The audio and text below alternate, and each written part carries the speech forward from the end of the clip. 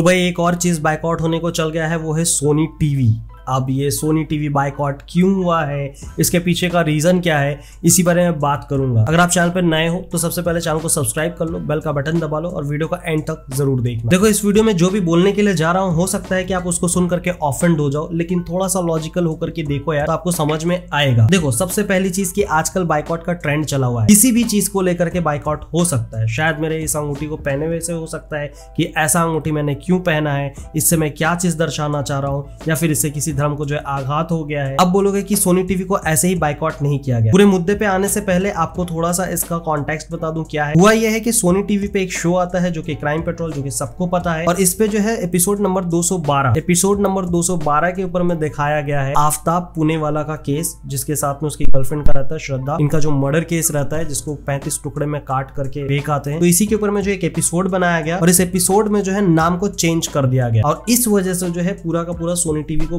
Boycott करने पे लग गए हैं लोग। और इसके पीछे में जो है बहुत बड़े रीजन डाले जा रहे हैं। वो रीजन क्या है? लोगों का कहना यह है कि आफ्ताब पुणे वाला को जो है वहाँ पे नाम क्यों चेंज कर दिया गया है? उसका नाम मिहिर बता दिया गया है। लड़की का नाम श्रद्धा था, उसको हटा करके एना बता दिया गया है। अब इनका नाम ऐसा क्यों रखा गया है? इस कारण की वजह से पूरा का पूरा सोनी टीवी को बाइकआउट किया जा रहा है। जब मैं जाकर के सोनी लिव पे जाकर के उस एपिसोड को देखने की कोशिश किया तो वो एपिसोड जो है ऑफिशियली डिलीट हो चुका है। मतलब आपको नहीं मिलेगा। सत्ताईस दिसंबर का वो एपिसोड मिसिंग है। पूरे के पूरे सोनी लिव ऐप पे। अब जिन लोगों ने देख रखा है और सोशल मीडिया में, वो क्लिप उठा करके वहाँ पे दिखाया जा रहा है उस एपिसोड का। तो मैंने भी उसमें देखा है एपिसोड कुछ दो से तीन मिनट का एक क्लिप है। उसको देखने के बाद में यही समझ में आता है कि जो भी बताया जा रहा था न्यूज़ चैनल पे, उसी चीज़ को यहाँ पे दिखाया जा रहा है। अब इस चीज़ को लेकर के बाइकआउट कर रहे हैं, ठीक है, समझ में आ रहा है। लोगों का रीजन यही है। पर सबसे पहली चीज़ क्या कभी किसी ने गौर किया है कि क्राइम पेट्रोल के अंदर में कोई भी एपिसोड जब भी दिखाया जाता है, उसके अंदर का नाम हमेशा चेंज कर दिया जाता है। ज़रूरी नहीं कि जो मुस्लिम कैरेक्टर वो दिखाया जाता है, वो मुस्लिम कैरेक्टर रियल में वैसा ही हुआ हो। क्योंकि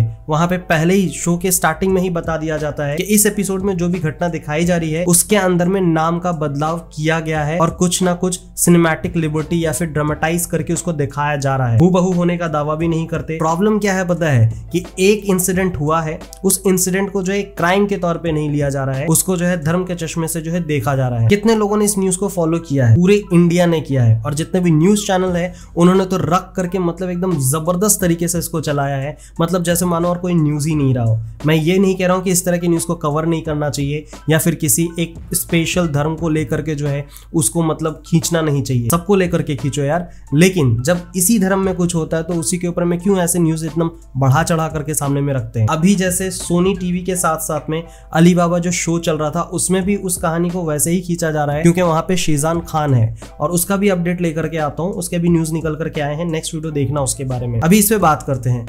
कि भाई आप जब भी कोई इंसिडेंट देखते हो, उस क्राइम के ऊपर में फॉलो उस क्राइम के ऊपर में फोकस करना चाहिए। उस पर क्या सजाएँ मिल सकती है, उसके ऊपर में ध्यान देना चाहिए। कितनी सख्त सजा दे सकते हैं, उसके ऊपर में ध्यान देना चाहिए, लेकिन नहीं। हमें सेटिस्फेक्शन तब मिलेगा जब किसी भी नॉन मुस्लिम के ऊपर में कोई मुस्लिम पर्सन कुछ करता है या करती है, उसके ऊपर में सबसे पहले फोकस करना चाहिए। एक और इससे पहले भी आया था कि बिरयानी बना करके, पूरा काट करके फेंक कर आ गई थी। एक बंदी थी, वो वो मुस्लिम टू मुस्लिम में हुआ था। वो शायद लोगों ने उतना ज़्यादा ध्यान ही नहीं दिया। अब इसमें यह ध्यान दिया जा रहा है कि एक नॉन मुस्लिम बंदा, यानी एक हिंदू पर्सन जो है क्रिश्चियन के ऊपर में ये क्रुअलिटी किया है। पूरा फोकस अभी पूरा धर्म पे आ गया इस चीज़ को लेकर के अगर आप बाइकआउट कर रहे हो तो थोड़ा सा दिमाग लगा लो, नाम चेंज करते हैं। अब पर्टिकुलरली अगर सिर्फ़ धर्म के नज़रिए से चल रहे हो तो आपका पूरा हक बनता है कि बाइकआउट कर दो। एक धर्म विशेष को लेकर के घुमा दिया गया, किसी और धर्म के ऊपर में इल्ज़ाम डाला जा रहा है। इल्ज़ाम क्यों डाला जा रहा है? आप उस क्राइम को समझने की कोशिश करो ना कि वो क्राइम हुआ है। उस क्राइम के ऊपर में हमें क्या एक्शन लेना चाहिए, हमें क्या करना चाहिए? लेकिन नहीं, हमारा ध्यान पूरा इस पे कि वो आफ्ताब है, वो मिहिर क्यों हो गया? इस चीज़ के ऊपर में ध्यान जा रहा है। श्रद्धा जो है वो एना क्यों हो गई है? एना को अगर श्रद्धा करते तो वो सही होता था, क्योंकि वो क्रिश्चियन से हिंदू में आ गया, हिंदू के ऊपर में